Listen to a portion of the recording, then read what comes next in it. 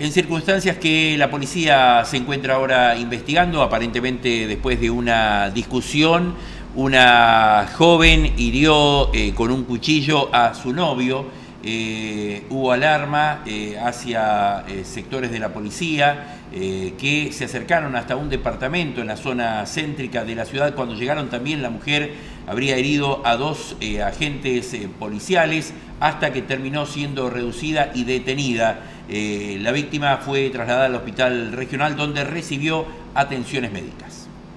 Alrededor de las 8.40 solicitan la presencia policial por un incidente que ocurría justamente allí en la calle 25 de Mayo al 900, en un primer piso, 936 correctamente.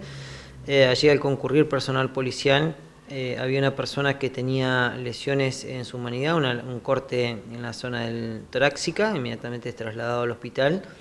Eh, menciona que había tenido problemas con su pareja, eh, y esta le habría efectuado el corte. Inmediatamente el personal policial interviene, trata de calmar a, la ciudadana, se encontraba bastante alterada, este, lejos de desistir de su actitud, este, ataca en primer lugar a un oficial que le corta la mano, luego interviene otra empleada policial y también le, cortó los dedos, logrando posteriormente eh, reducirla. Gracias a Dios los empleados no tienen lesiones de gravedad, solo algunos cortes en las manos por los cuales este, fueron debidamente asistidos. Respecto a esta persona de 23 años de edad, eh, fue trasladada a la seccional primera y va a ser eh, trasladada posteriormente a la audiencia de control.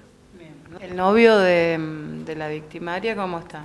Él eh, sufrió una lesión este, en la zona torácica, pero no tampoco son lesiones de, gravedad. gracias a Dios también se encuentra este, en buen estado de salud. ¿Está internado? No, no, fue curado y este, dado de alta inmediatamente.